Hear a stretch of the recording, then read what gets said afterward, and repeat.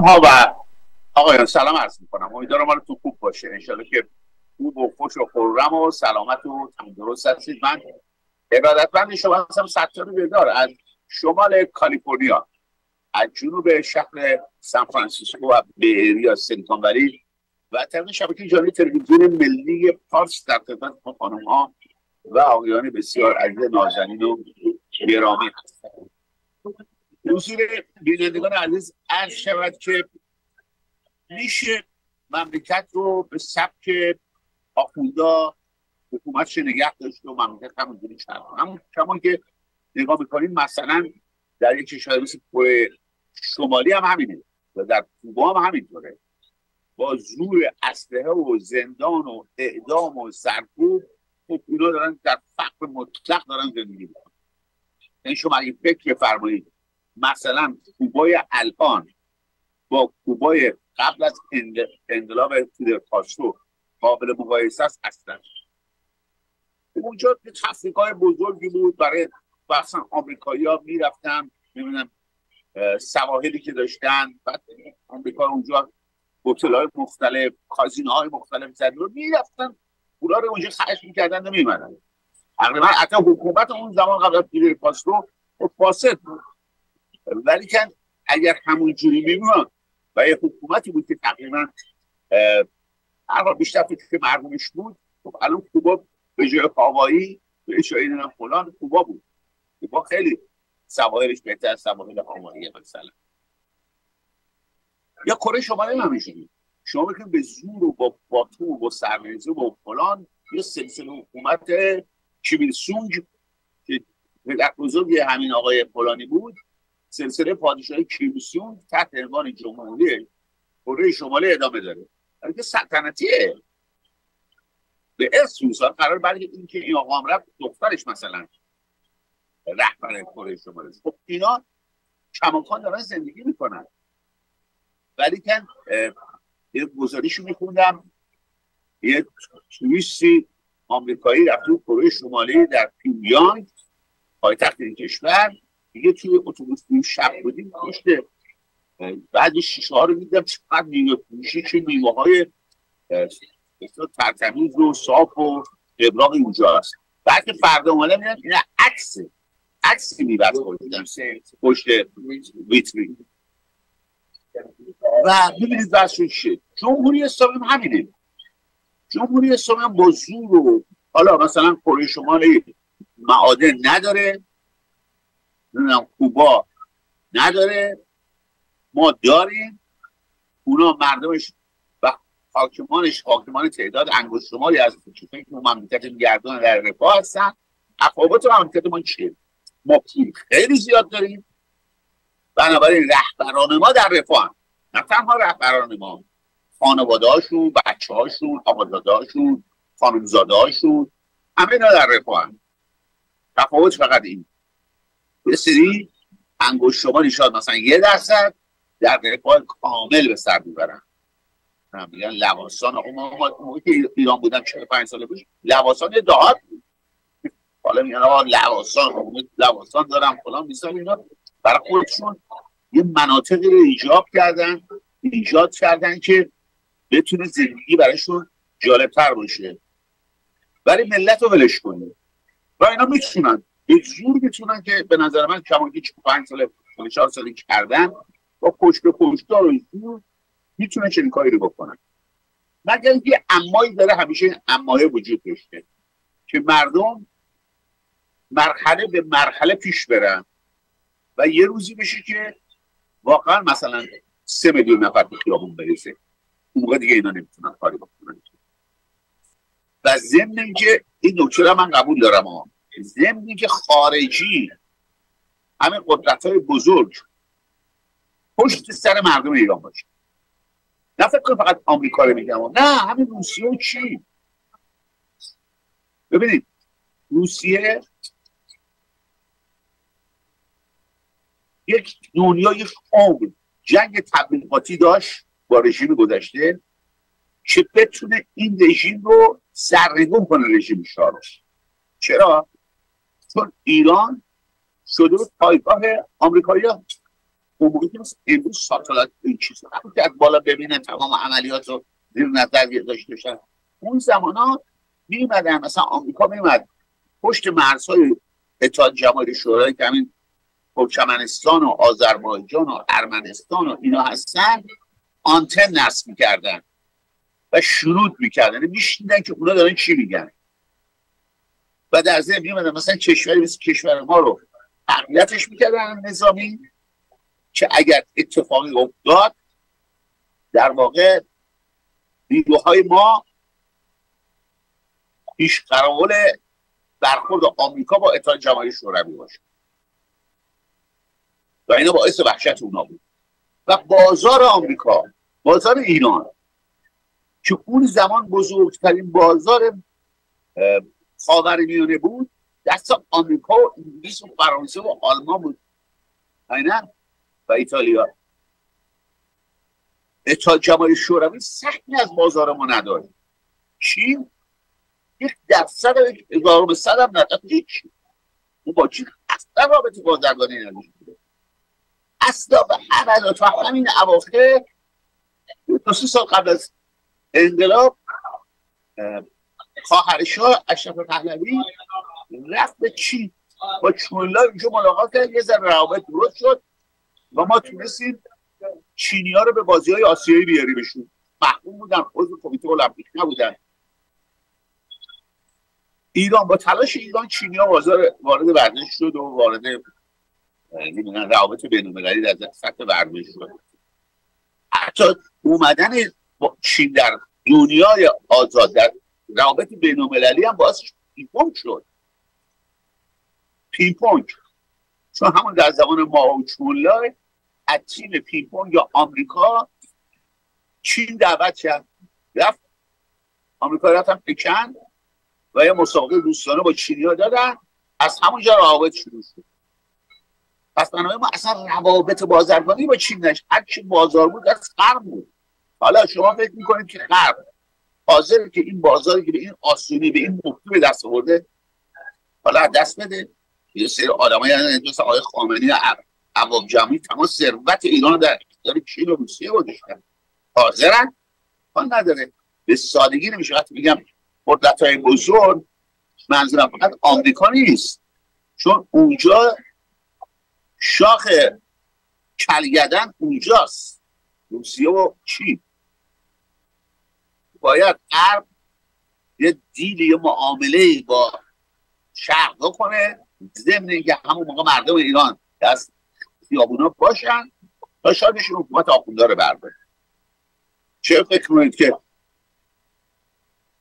روسیه یا اتحاد اون زمان کودتای نوژه رو به خامنه خمینی و اینا خمینی و رفسنجان اطلاع داد؟ چرا؟ ببینید یک کودتای غربی داره میشه. یا مرتبه آمریکایی می‌خوان برگردن. اونا اطلاع دادن نوژه بنابراین بنابراین شرایط امروز مملکت ما به گونه است که ما باید یک کاری بکنیم که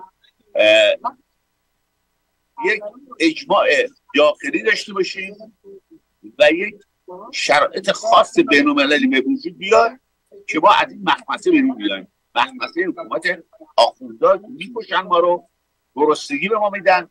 دشت میدن مردم مملکت ما رو و ما در یک شرایط بد تاریخی هستیم. من امروز داشتم گزارش می‌کنم که کمپانی کوچیک در ایران تمام اینا دارن از اینا خارج میشن. خیلی قابل توجه از ایران رفتن. برای همسایه چرا؟ مثلا اینترنت کار نمی‌کنه. سرعت اینترنت کمه. این کمپانی الکترونیک خدمات عمومی کمپانی علمی تمام اینا که تازه هم شروع شدن و خیلی هم موفق هستن. حالا می‌بینن آقا شرایط جور نیست برای بیزینسشون. برای کار از ایران دارن میرن. یعنی این داستانی که از زمان خمینی بهش گفتن که آقا ملت متخصصین دارن میرن گفت بذار برن به درک به جهنم که برن من با حوزه علمی خوب میگم که متخصص تربیت کنن. دکتر تربیت کنن که این دکترهای اسلامیشون رو داریم می‌بینیم. از همون زمان ادامه داره و کار به جای رسیدی که کمپانی موفقی در داخل هم شروع کردن الان دارن میرن. بنابراین هر روز من میرم یه جایی اولی سوال که از من می‌کنن باور کنید آقا چه این آخوندا میرن؟ پس چی شد این آخوندا؟ ببینید این آرزوی یک ملته. حالا من حقیقتش در تمام این مدت یه تعداد یه چند نفری هم دیدم که مثلا داره اونم نمیگن طرفدارم اون این آمریکا. وقتی ریشهش نگاه می‌کنم اصلا میرم فلان کس که میگفتش که تعریف می‌کرد اینا مثلا با آقای احمدی نژاد یه نسبتی داره. مردم به اینجا شروع رسیدن پس این عواب جمعی هم داره یه سری نوفر هم داره. ولی این به اینجا رسیدن کار تموم نمی‌کنه. جوابی که میگن که سری از من می‌پرسن. هر جا من میرم هر کی می‌پرسن اولش اینه.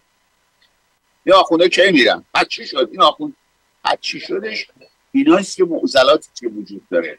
ممکنه که این توافق نشه و همونطور که پروی شمالی مونده اونا هم نده پیامبر می‌بینیم با آقای حسن رجب نژاد آقای شیخانی Prestige, honor, excellence. These are the attributes of the ideal attorney who is sought out by their peers and clients alike.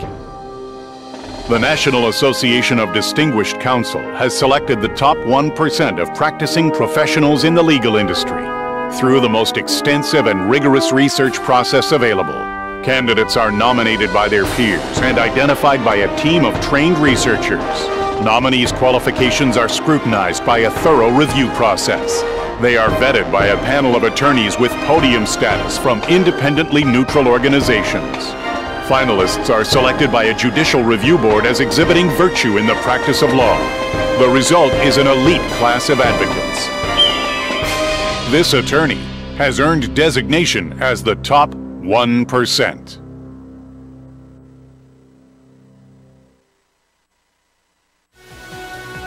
رستوران و سوپر یگانه. یگانه یگانه محلی در سنحوزه که صبحانه املت و هر روز حلیم و کله پاچه با نان سنگک داغ سرو می کند و هم ساندویچ های سرد و گرم در کنار شیرینی های ایرانی با قهوه و کاپچینو ضمن کلیه مواد غذایی آشپزخانه کدبانی ایرانی فراهم شده است. نشانی 3275 استونز کریک بولوار تلفن 408 666 12 29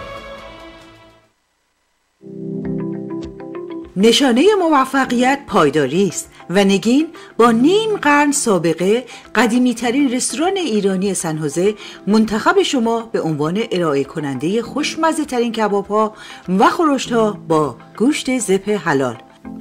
و شنبه شبها به همراه موزیک زنده و دیجی. تلفن 408 866 6400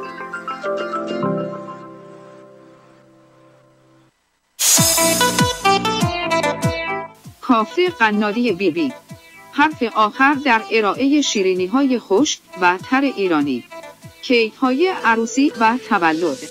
انواع ساندویچ های ایرانی و آب میوه تازه با مدیریت ایرانی.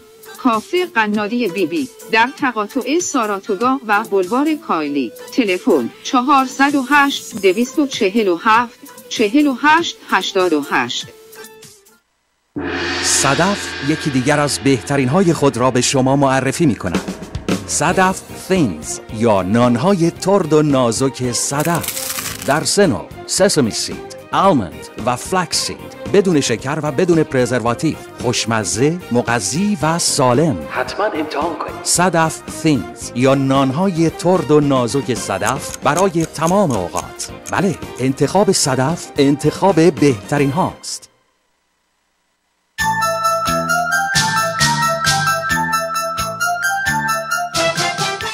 دایموند، پرستیژ و زیبایی. همه در مجموعه جواهرات دیوا آف لهای کیترینگ لیلا در شمال کالیفرنیا از بی ایریا تا ساکرامنتو در خدمت شماست. با خدمات مجالس ما نگران پذیرایی از میهمانان خود نباشید بلکه خود همچون میهمان لذت ببرید. تلفن 916 996 27 19 وبسایت leilacatering.com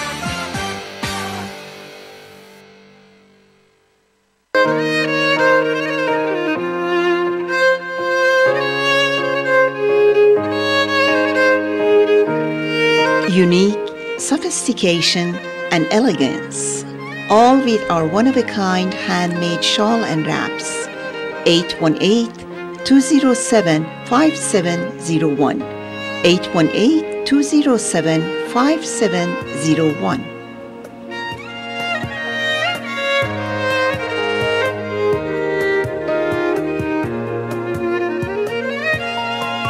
Something special for you and your loved ones.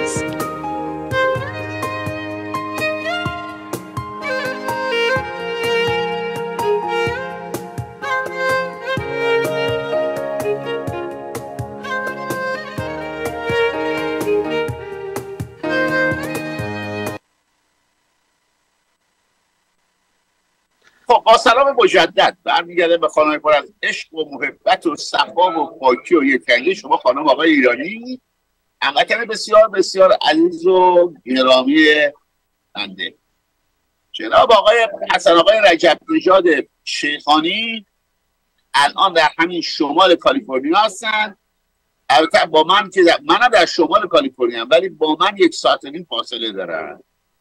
ده.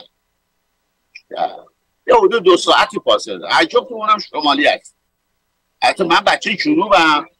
اصلا رجب اینجا بچه گیلانه در شمال کالیفرنیا ما با هم همشهری هستیم شمالی هستیم. ولی من در ایران اون نقطه پایین هستم. مثل آبادان.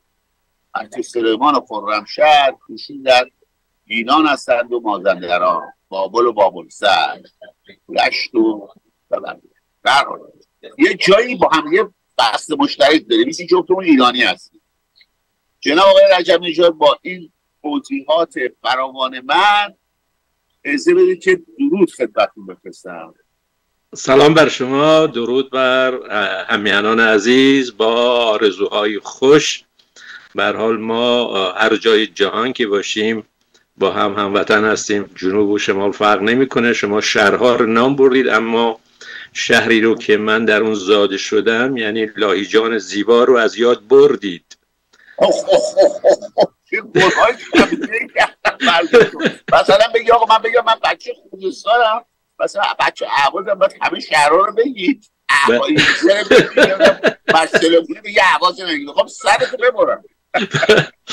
اگرچه من از تقریبا 18 سالگی از لاهیجان بیرون اومدم ولی همون خاطرات دوران کودکی و نوجوانی دوران دبیرستان و اینا همیشه همراه من هست و نگاه گدار این خاطرات رو می نویسم به حال چون آقای دلار در ایام محرم هستیم هنوز و بهتر است که کمی در مورد این ماه صحبت کنیم که یک اندکاب تاریخی هست. ارز کنم که اولا اینکه ازاداری امسال در ایام محرم و شیبه های جدیدی رو که این جوانهای سرزمین ما برای سوکواری برگزیده بودن به اوریانی نشون داد که پس از چند قرن که ما در انجماد فکری و در واقع یه نوع یخبندان مذهبی گرفتار بودیم و این جمود فکری ما رو از اندیشیدن و واکاوی میراث گذشته باز داشته بود. با بالا آمدن خورشید آگاهی نخستین گام های بنیادی رو برای شکستن این عصر یخبندان مذهبی برداشتیم. و جالب اینجاست که سرعت تغییرات در مفاهیم و باورهای دینی از سرعت گذر عمر انسان فراتر رفته. خیلی مهم هست در این عصر. ارز کنم که از سه هزار سال پیش که بنی اسرائیل خودش رو قوم برگزیده خدا دونست و داستان آفرینش خدایی قادر و غهار و مکار و انتقام گیرنده رو پیش کشید و بیاری اسحاق و یعقوب و اسفار خمسه و تورات و تلمود و اعیاد دهگانش ذهنیت بشر رو به انجماد کشوند. در واقع عصر اول یخبندان مذهبی آغاز شد. بعد بعد از مدت ها مسیح زاده میشه تا نقطه پایانی به عصر یخبندان بگذاره و ذهن انسان رو از اربابان دین رهایی ببخشه. اما مسیحیت که خودش می‌خواست به بردگی فکری بشر خاتمه بده خودش عصر یخبندان تازه رو رقم زد و بعد قرنها طول کشید تا عصر یخبندان دیگری به نام اسلام به وجود بیاد که تا امروز و اکنون با شیبه ها و ساختارها و فرم ها و شکل های گوناگون ادامه پیدا کرد ولی آنچه که می‌بینید در همین سه دوره در اصل ماجرا هیچ تغییری حاصل نشده. بدین معنا که در آسمان ها خدایی هست که سرنوشت انسان زمینی به دست او هست و مقدرات این انسان بیچاره رو هم تنها کنیسه و کلیسا و مسجد تعیین می‌کنه. اینو باید بگم که اگر رونسانسی صورت نگرفته بود و کسانی مثل دکارت و داروین و فروید و نیچه به وجود نیومده بودند که توجه انسان رو از جستن حقیقت در آسمان ها به سوی زمین بکشونند بیگمان بشر, بشر امروزی همچنان در چنبر بین یکتاپرستی و بتپرستی گرفتار بود. همونطور که گفتم سرعت تغییرات در مفاهیم و باورهای دینی سبب شده که انسان امروزی به واکاوی باورهای خودش بپردازه و به عنوان مثال از خودش بپرسه این روحانی یاوگویی که مدام از بهشت و دوزخ و عذاب اخروی و روز صد هزار سال و درخت زقوم و هوریان هفتاد زرعی بهشت و شهادت و حوز و کوسر و درخت توبا و از این حرفا و پل سرات مثلا صحبت می‌کنه. و مدام مردم رو با آخرت می‌خونه. میگه این دنیا اینجا ارزشی نداره اصل در آخرت هست. چرا خودش حریستر از همه به مال دنیا هست و چرا با همه توش و توان و مکاری و نابکاری هاش به این دنیا و مواهب این جهانی چسبیده و اشتیاقی هم برای رفتن به بهشت و یا شهادت یا به خودشون فیض شهادت نداره این پرسشی که انسان امروزی مسلمان امروزی در فرزندان مادر ایران از خودشون می‌پرسن. من وقتی که آقای دلار این ازاداری های ریاکارانه حکومتی و اون بزل و بخشش, بخشش هایی رو که همین سردمداران این حکومت همان دزدان و راهزنان در ایام محرم می‌کنن یاد آن سخن نقض مولانا میفتم که میفرماید پس ازا بر خود کنید ای خفتگان. پس ازا بر خود کنید ای خفتگان زان که بد مرگیست این خواب گران. خفته بودستید تا اکنون شما که کنون جامعه دریدید از عذاب میگه آقا شما تا الان خفته بودید که تازه الان دارید جامعه عذاتون رو برتن کردید یا پاره می‌کنید. ارز کنم که این آقای دلار این شیوه این تحول درونی در شیوه عزاداری در ایام محرم رو امسال ما در گوش و کنار مملکتمون به صورت کلیپ های چیز دیدیم. مثلا در آلود بله. دیدید که در آمول هیئت عزاداران به جای پوشیدن لباس سیاه و زنجیر زدن و غم زدن و مویه و ناله برای ناکامی قاسم و اسیری زینب و نمی‌دونم یتیمی دو تفلان مسلم اینا لباس سپید پوشیدن. این رو ما دیدیم و با سنج و تبل و شیپور بر مزار یکی از ستم پشتگان همین حکومت نکبت یعنی خانم غزاله چلابی رفتند و در اونجا به جای مرسی خونی از خون جوانان وطن لال دمیده رو خوندن. این یک تحول بسیار بسیار درونی هست فرهنگی هست که در نسل جدید ما صورت گرفته.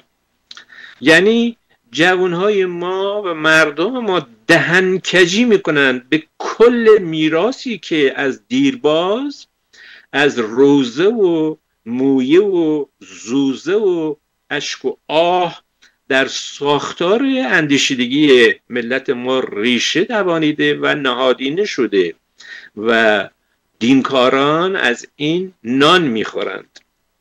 حالا آقای رجب نجات شما به این لباس سفید اشاره کردید جالبه. خدمتتون عرض کنم که این آقای کویتی پور غلام کویتی پور یا غلام علی کویتی پور و اون آقای علی آقای دانیال مقدم که اون آهنگ رئیس رو خوندن روی جلد این این تولید لباس سفید پوشیدن اونا فقط یه شال مشکی رو گردنشون انداختن.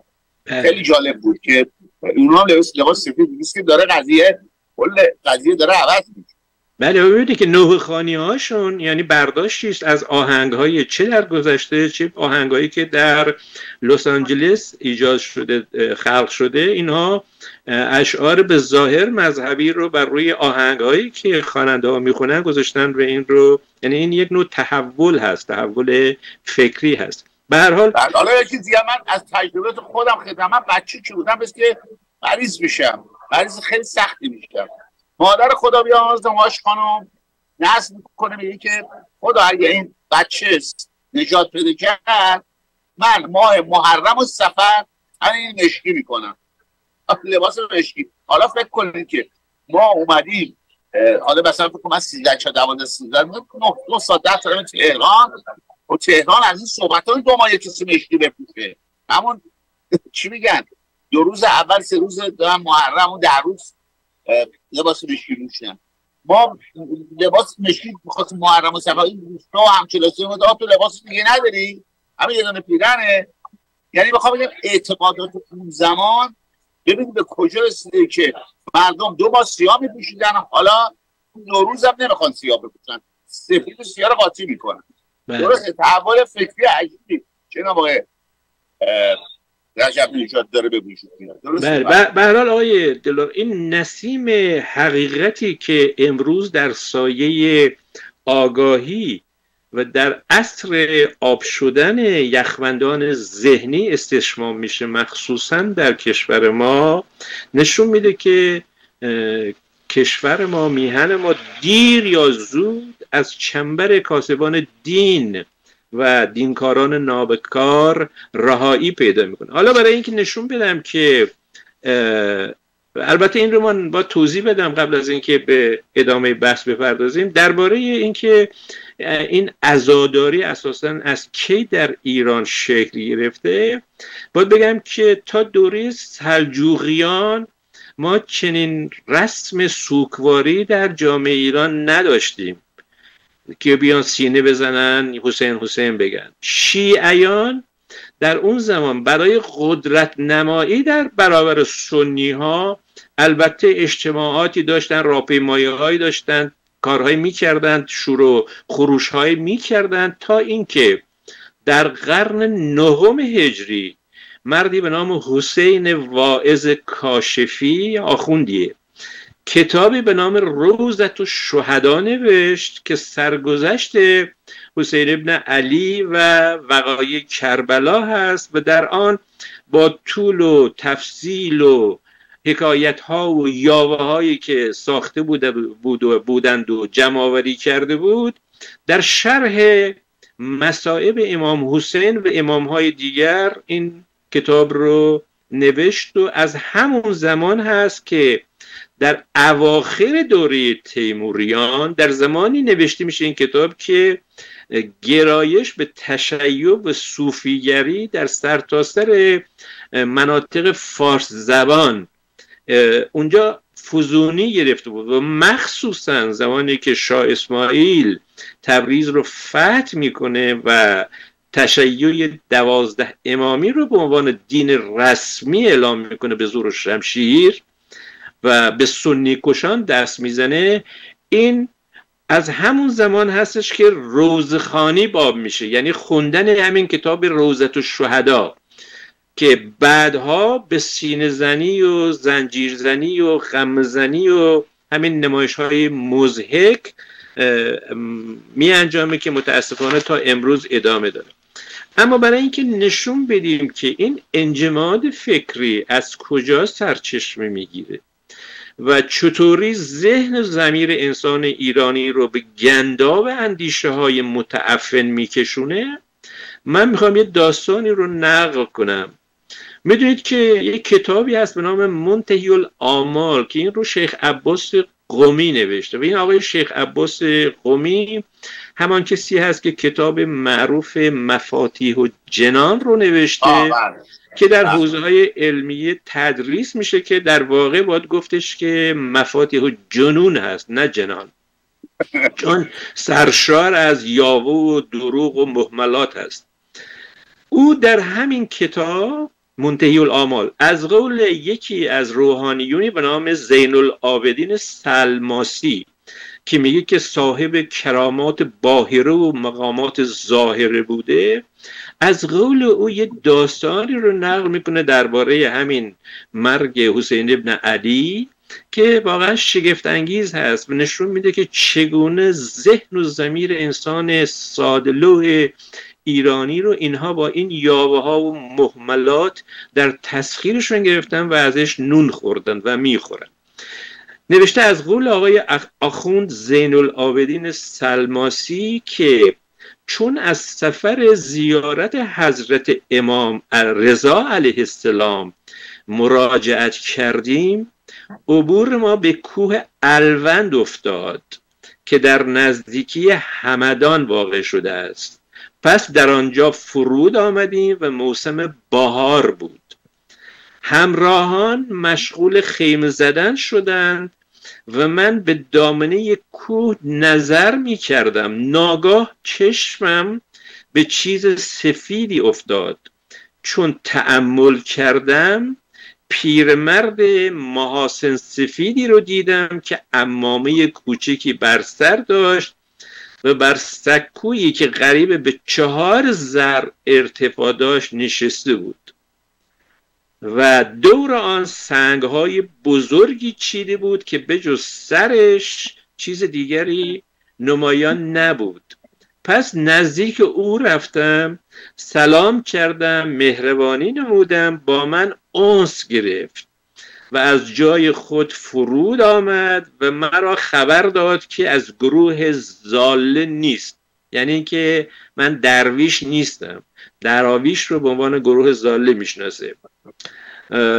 بعد نوشته بلکه من از دراویش نیستم بلکه زن و فرزند و اینا داشتم که تمامی زندگی آنها رو به سامان رسوندم و الان در این پیری تصمیم گرفتم که بیام در عزلت بشینم و عبادت کنم. و 18 سال هست که در اینجا به تنهایی در این بیابان زندگی می‌کنه بعد این داستان آقای داستان نقل می‌کنه. میگه بله او می‌گفت اول آمدن من به اینجا ماه رجب بود. چون پنج ماه و اندی گذشت شبی مشغول نماز مغرب بودم. ناگاه صدای ولوله عظیمی آمد که به جهت عظیمی آمد و آوازهای غریبی شنیدم. پس ترسیدم نمازم رو کوتاه کردم و در این دشت نگاه کردم دیدم بیابان از حیوانات پر شده و همه آنها به سوی من می آید شهر میده که بله ما دیدیم آقا این حیوانات به طرف من میاد من ترسیدم گفتم اینا دارم میام منو بدرونن که دیدم که آقا شیر هست و آهو هست و گاو از گاو کوهی هست و پلنگ و گرگ اینا همه با هم به طرف من میان میگه و سیهه می‌زنن یعنی ناله می‌کنن و اومدن در این محل دور من جمع شدن. میگه من با خودم گفتم که آقا اینا نیومدن که منو بخورن. حتما یه اتفاق مهمی افتاده. بعد تعمل کردم فهمیدم امشب شب آشورای حضرت ابا عبدالله الحسین است و این فریادها و سر و صداها و فقان و اجتماع و نوهگری و گریه و ناله برای حضرت سید شهدا است. بعد میگه که بعد این حیوان ها اومدن دور من جمع شدند بعضی ها سرشون رو به زمین میکوبیدند و ناله می‌کردند. بعد تا طلوع فجر ازاداری کردیم. بعد میگه که هر سال اگر من الان اینجا هستم هر سال یادم بره که آشورا کی هست همین حیوان ها میان ما با هم ازاداری بکنیم یعنی ببینید که این ذهن و زمیر رو این مردم ایران رو با چی یاوه هایی اینها آلودی کردن. بگمانم زمان پخش بله جالب آقا. قبل از ها. مثلا طبق به زیست شناسی و حیوان شناسی و شرایط اقلیمی هرگز هرگز در اقلیم الوند و دور کوهستان الوند و حوله الوند و همدانی اصلا شیر زندگی نمی‌کرده. در طول تاریخ. اصلا یه دونه هم نبوده. بابا آخرین کسی که داره میگه من شیر دیدم در ایران ناصر خسروه اونم یه جوری داره میگه که به نظرم میاد من وقتی جغرافی های امروز و اون چیزی که ناصر خسرو داره مقایسه می‌کنه مثلا تو دامنه کوههای زاگروس توی بله. مثلا فکر بفرمایید طرف های لورستان و نمی‌دونم خوزستان که من حالا بررسی کنم اونجا میگه من شیر دیدم. تا قبل از بعد بعد ناصر خسرو من ندیدم که توی تو ایران شیر بوده. حالا بله. اینا امام حسین شیر داشته بود نمی‌دونم نمی‌دونم. لابد بوده دیگه. ما عقلمون نمی‌رسیم حالا این از زیست شناسا نه نمی‌دونم کسایی که تکامل جانوری رو خوندنش تو ننشتن در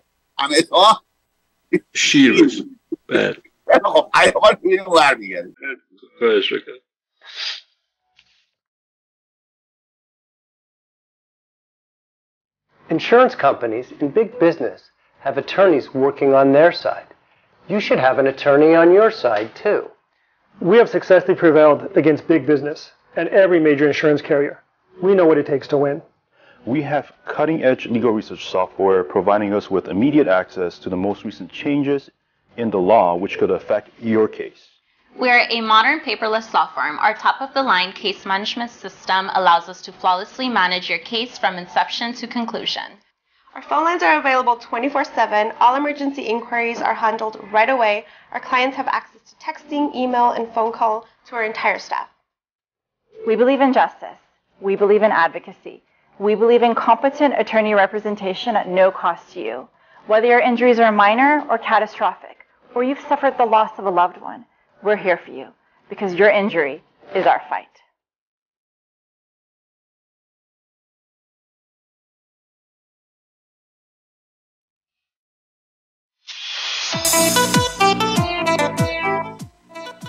بازار مدیترانه از کایلی بولوارد روبروی قنادی بیژن به شماره 4360 استیونز کریک بولوارد روبروی هاندای استیونز کریک جنب ران تیبل پیزا نقل مکان کرد.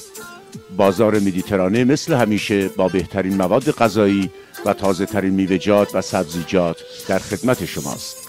در بازار مدیترانه نداریم نداریم. رسیدی رستوران ما در کنار سوپرمارکت با بهترین غذاها آماده پذیرایی از شما خواهد شد. رستوران و سوپر یگانه. یگانه یگانه محلی در سن‌هوزه که صبحانه املت و هر روز حلیم و کله پاچه با نان سنگک داغ سرو می کند و هم ساندویچ های سرد و گرم در کنار شیرینی های ایرانی با قهوه و کاپچینو ضمن کلیه مواد غذایی آشپزخانه کدبانوی ایرانی فراهم شده است. نشانی 3275 Stevens Creek بولوار تلفن 408 666 12 29 دکتر جمشید ایرانی وکیل رسمی دادگاه های فدرال و ایالت نیویورک انجام کلیه امور مهاجرت از جمله گرفتن گیرین کار از طریق ازدواج فامیلی پناهندگی و جلوگیری از اخراج. اخذ ویزا از طریق کار و سرمایه گذاری انتقال قانونی پول بر اساس قوانین اوپک تنظیم قراردادها و ثبت شرکت‌های تجاری و بازرگانی. با دفتر دکتر جمشید ایرانی با تلفن 212 683 7700 تماس بگیرید.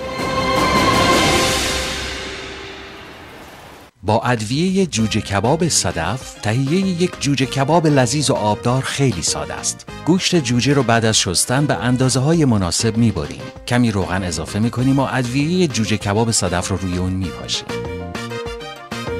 و بعد همراه با سبزیجات دلخواهمون به سیخ می‌کشیم.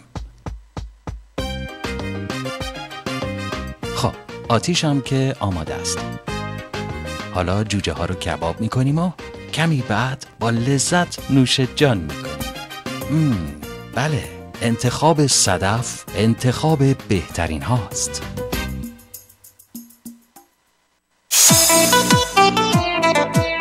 کافه قنادی بی بی حرف آخر در ارائه شیرینی های خوش و تر ایرانی. کیک های عروسی و تولد. انواع ساندویچ های ایرانی و آب میوه تازه با مدیریت ایرانی. کافه قنادی بی بی در تقاطع ساراتوگا و بلوار کایلی. تلفن 408 247 48 88 شهرت و موفقیت بختیاری Auto Group نتیجه عرضه بهترین اتومبیل ها و قیمت های استثنایی و سرویس کم نظیر مدیران و چند صد کارمند و فروشندگان ایرانی. بختیاری Auto Group در شمال و جنوب کالیفرنیا. Subaru Outback در Stevens Creek Subaru سن و Puente Hills. اتومبیل Nissan Altima در Stevens Creek Nissan سن اتومبیل Infiniti در Stevens Creek Infiniti سن هوزه Honda Accord در Honda of Hollywood. اتومبیل Ford four wheel drive در Huntington Beach Ford. برای تهیه بهترین اتومبیل ها Honda، Nissan، Ford، Infiniti و Subaru از شعبه ها و نمایندگی های ما دیدن فرمایید. نشانه موفقیت پایداری است و نگین با نیم قرن سابقه قدیمی ترین رستوران ایرانی سنهوزه منتخب شما به عنوان ارائه کننده خوشمزه ترین کباب ها و خورشت ها با گوشت زپ حلال. و شنبه شبها به همراه موزیک زنده و دیجی تلفن 408 866 6400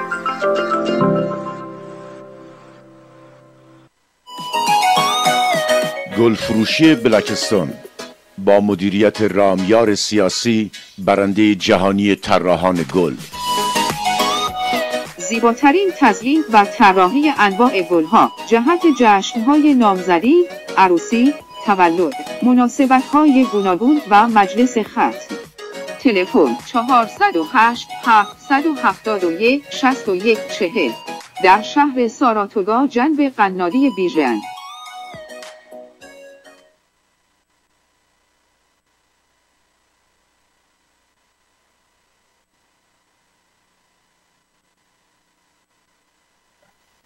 خب پس بنابراین معلوم شد که شیر در همدانم بوده و یعنی آقای دلدار ببین آقا من فقط یه چیزی به شما بگم. من باور کنید خب من این تکامل رو دوست دارم. مثلا تکامل حیوانات رو. که چجوری بوده؟ همین داستان شما فرمودید دار، داروین و نیچه و این داستانی که همه صحبت چه می‌کنن. من حتی تو عربستان هم نفهمیدم سوسمار از این سوسمار کوچولوها دیدم خوندم می‌دونم. ولی شیر نداره. بعد نگاه بکنم مثلا عکسایی که اینا درست چاپ می‌کنن مثلا از حضرت علی علیه السلام بغلتش دو تا شیر می‌ذارن. ها اونجا تا شیر نبوده.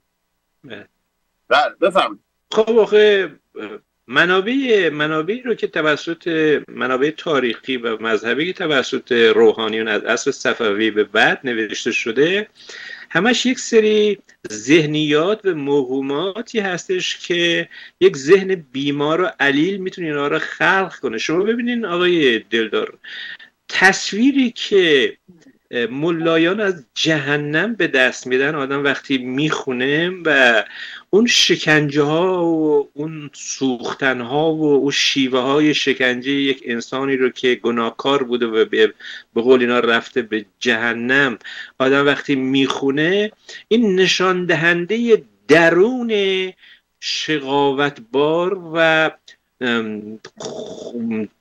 انتقامگیر ملاها هست. یعنی اون کسی اون کتاب رو نوشته در ذهنیتش یک همچی تفکری داشته که اگر این یک روزی خواست کسی رو شکنجه کنه به چه شیوه هایی می‌تونه شکنجه کنه؟ و الا یک انسان سالم اگر یک ذهن آگاه داشته باشه اگر می‌خواد بهشتی رو ترسیم کنه بهشتی رو ترسیم می‌کنه که شباهت به کالیفرنیا به گیلان به مازندران به زیبایی های اونجا داره. یا می‌خواد اگر کسی رو شکنجه کنه بزرگترین شکنجه انسان مرگ هست. هیچ نیازی نیست که زیر شلاق بگیره یا بندازی از پل سرات پایین بره جهنم. هفت طبقه داره هر طبقهش نمی‌دونم جایگاه چی کسانی هست. این ذهن بیمار جین زده انسان است که مثل همین شیخ عباس قومی مثل همون مجلسی اینا یا آقای دستقیب. شما واقعا وحشتناک از همین آقای دستقیب یک کتابی داره به نام مظالم. الان همین جلوی من هست. من داشتم میخودم این تصویری که از جهنم به دست میده اولا میگه هفت تا طبقه داره بعد دونه دونه میگه طبقه اول جای کیا هست طبقه دوم جای کیا هست. من فکر کنم اینجا داشته باشم ها در اونجا رتبه بندی وجود داره. مثلا نوشته کافرانی که مسیحیانی که عیسی رو فرزند خدا می‌دونن جایگاهشون در حاوی است. این یک چیزه. مشرکان جاشون در جهیم هست. این طبقه دومه. سقر جایگاه ستاره پرستان هست. لذا یا لذی نوشته میشه؟ نمی‌دونم چیز زهرماری هست. جایگاه ابلیس و مجوس هاست. ما ها مجوسیم. ما که آره، در بودیم. ما. ما طبقه سوم هستیم. طبقه چهارم. طبقه سوم بد نیست. نه مزه می‌خوام. طبقه سوم سقر هست. نوشته جایگاه ستاره پرستان هست. طبقه چهارم لذا یا لذی نوشته میشه. جایگاه ابلیس و مجوز هاست. چهارمی ما طبقه چهارم هستیم. پنج حزمه جایگاه یهودیان هست.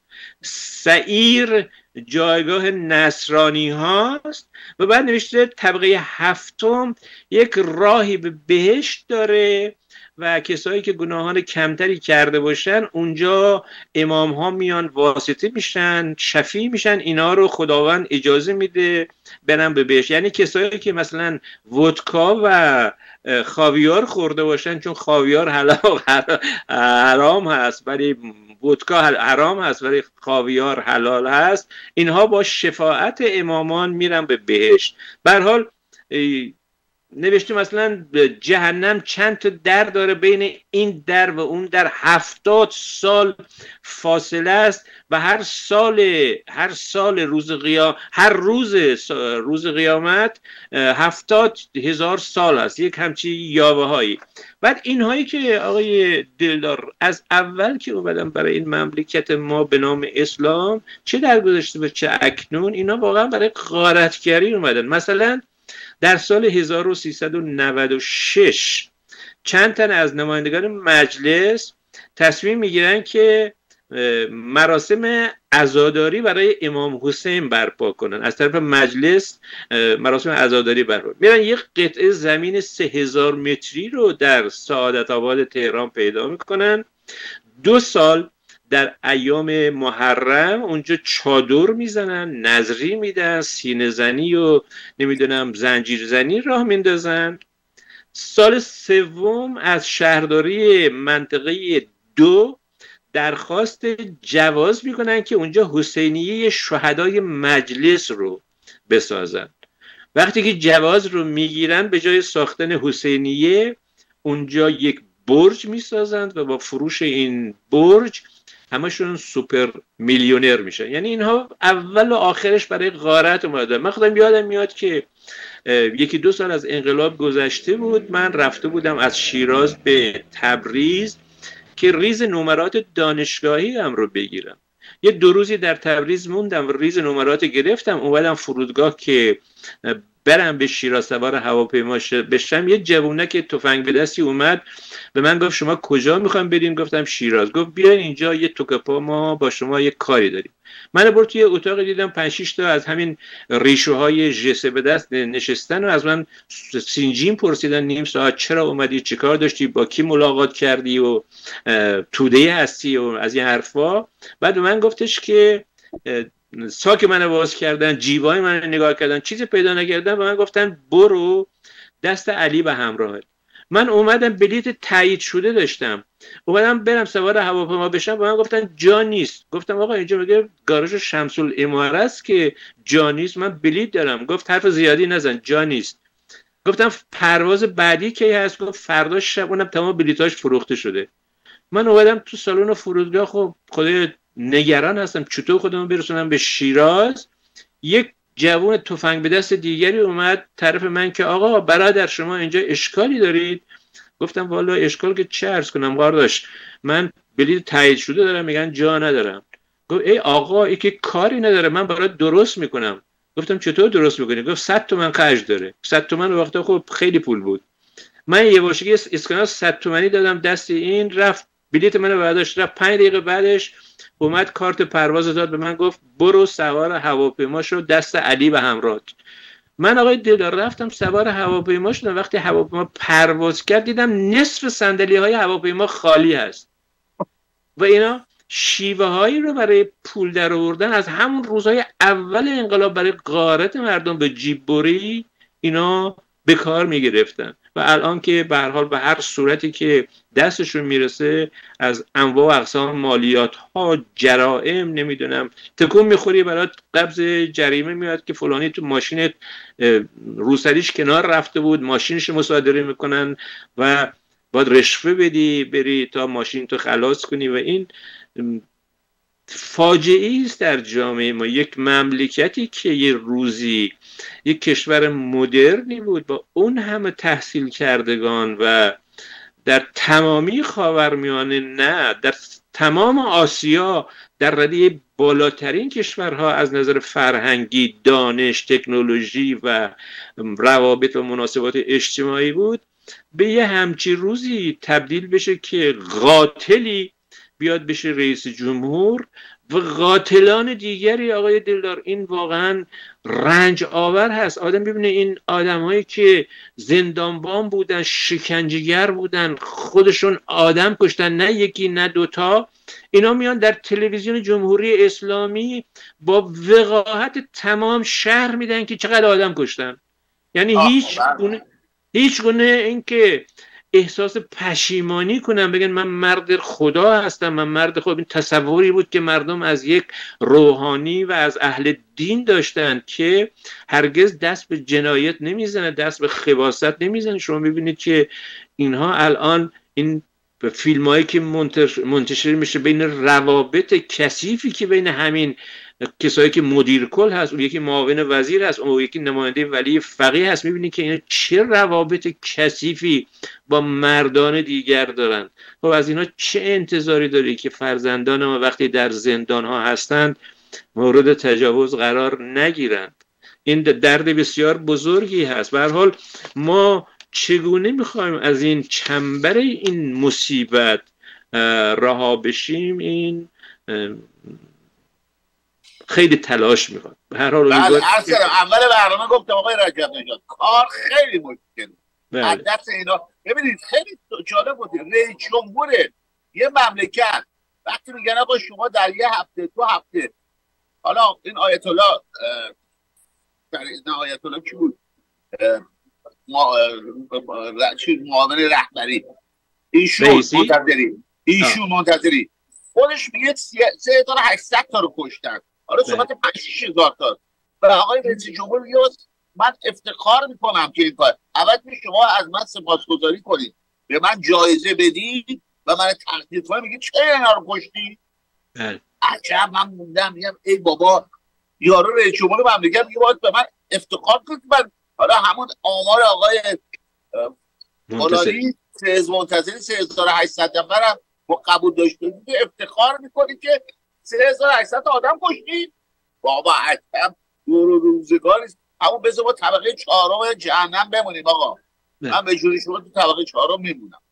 دوست خب اینها اینها طبقه هفتم که از اونجای راه به بهشت داره. بهشت اونها رو من یکی نمی‌خوام. ببرم آقای دلار اینا در این 1400 سال از زمانی که کشورمون به اشغال تازیا در اومد تا الان خب من همونطور که قبلا گفتم ما هرگز بجز یک دوره بسیار بسیار کوتاه مدت زمان رضا شاه هرگز حکومت غیر دینی نداشتیم.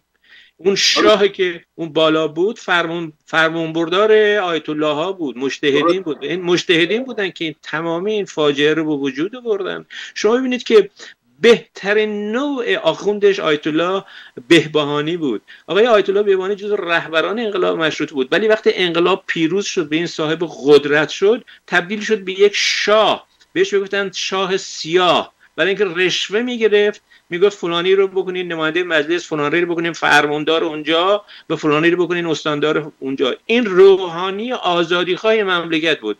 حالا ببین همین آشغالایی که یه امامه یه عبا و یه نعلینی دارن و الان اومدن مدیر کل و وزیر و اینا شدن. ببینید که چه واقعا مزرعه می‌خوام واژه بکنم ببینید چه کسافت هایی هستند که مملکت ما در چنگال این هاست حال برای رهایی از این مصیبت واقعا با تلاش کنیم. این نسل جوون ما باید فداکاری می‌کنه و بیشتر از این باید فداکاری کنه تا از این مخمسه عظیم رها بشیم. ممنون. ممنون جناب امید همه امید ما همونه دیگه. واقعا امید ما موبایلا خب ما به قول قدیمه ما عمرمون کردیم. نه به مقام احتیاج داریم نه به خودی نه به چیزی. اون چیزی که ما اینجا داریم پنجره کاره می‌کنیم. برای مردم مملکت خودمون. این که به آرزوشون برسونه برسن سپاسگزارم تماشاگران عزیز که با ما بودن. سپاسگزارم جناب آقای حسن رجب نجات که امروز هم به چهارشنبه دیگه با ما بودید. ممنون از امیر شورتی کارگردان فنی گپ خودمونی با سکتار زیدان در تلویزیون فارس و یک سپاس دارم سپاس بیشترم و یک درود دارم. بودید پایان بر ایزد یک داد که به ما جان داد تا فدا ایران. شبرسون خوش.